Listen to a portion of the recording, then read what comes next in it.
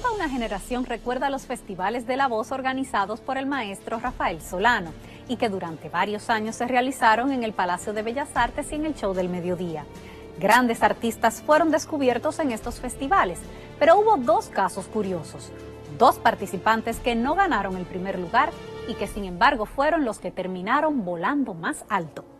En 1971, un jovencito de Loma de Cabrera se inscribe en el concurso. Con cada interpretación, conquistaba el corazón de la audiencia con su voz dulce de adolescente. Me parece que voy a ponerme a llorar, que voy a ponerme a gritar por mi perdida felicidad.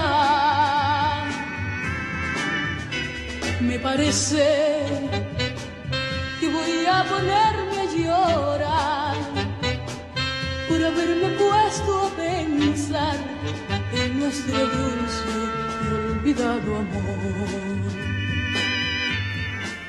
A pesar de ser el favorito del público, Fernandito solo alcanzó el quinto lugar, pero ya su rostro y su voz habían quedado grabados en los dominicanos, que lo bautizaron como el niño mimado. Después de su participación en el concurso, grabó varios temas del maestro Rafael Solano y posteriormente entró a la orquesta de Wilfrido Vargas, Los Hijos del Rey, de donde salió a conformar su propio proyecto convertido en una estrella. En 1982 se realizó el último Festival de la Voz y allí un muchachito de Villa Altagracia, al que apenas le empezaba a salir el bigote, llegó con más miedo que vergüenza y con este tema de José José se alzó con el segundo lugar. amigo el favor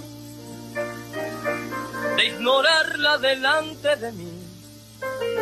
Ni siquiera pronuncie su nombre, que aún mi alma está hecha girones, que tengo el corazón en carne viva, que yo no sé olvidar como ella olvida Después de quedar segundo, Sergio regresó a Villa, pero pocos días después el maestro Dionis Fernández lo contrató para que formara parte de su frente de orquesta, y así empezó la carrera en el merengue del negrito de Villa.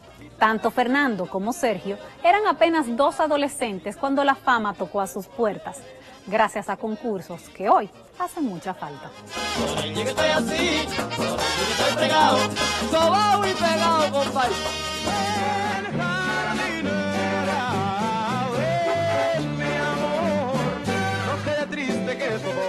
Pasó, pero es mucho más bonita la flor que se murió.